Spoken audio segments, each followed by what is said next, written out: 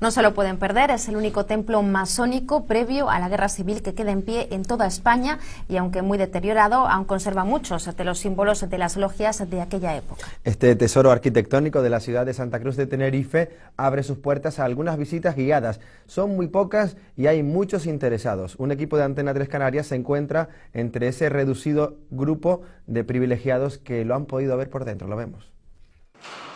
Fue construido a finales del siglo XIX y es el único del país que ha sobrevivido a la guerra civil y la ocupación y expolio militar.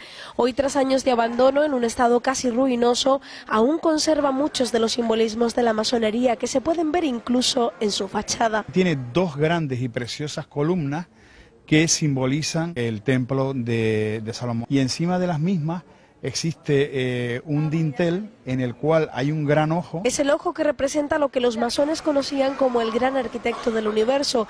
Gracias a estas visitas guiadas hoy podemos no solo acceder al interior, sino además hacer el recorrido que hacían los iniciados en la masonería.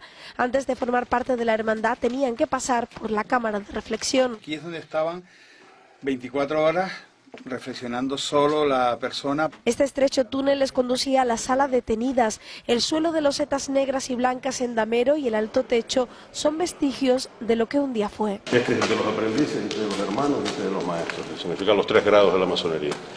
Una institución que se mueve por los principios de la tolerancia mutua, el respeto a los otros y la libertad de conciencia de los que hoy los visitantes han querido impregnarse. Aprender esos valores de otras de otras maneras de ver la realidad, la espiritualidad de la conciencia. ¿no? no será la única visita, pero sí seguirán siendo restringidas hasta que algún día el templo pueda ser restaurado y abierto al público.